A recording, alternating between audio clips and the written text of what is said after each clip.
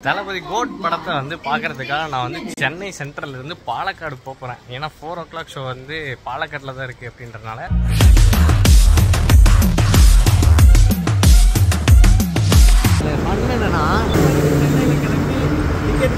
அப்படின்னு நினச்ச மணி கரெக்டாக ஒரு மணி நாலு மணிக்கு சோர்ந்து மூணு மணி நேரத்துக்கு முன்னாடி தான் கைக்கு டிக்கெட்டே வந்துருக்கு. பன்னெண்டு மணி நேரம் டிராவல் வந்து வீண் போகும் திருச்சி திருநெல்வேலி மதுரை இந்த மாதிரி இடத்துல தான் பயங்கரமான செலிப்ரேஷன் இருக்கும் தளபதிக்கு.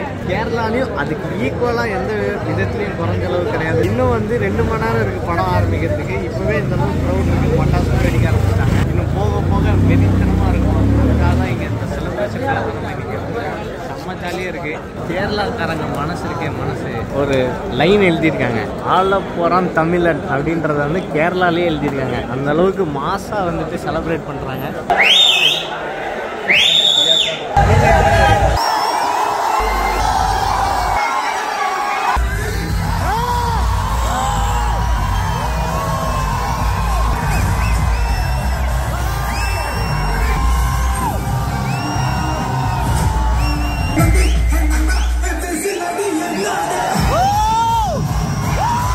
எவ்வளோ தூரம் டிராவல் பண்ணி வந்து கடைசியில்? இப்படி கீழே உட்கார வச்சுட்டாங்க.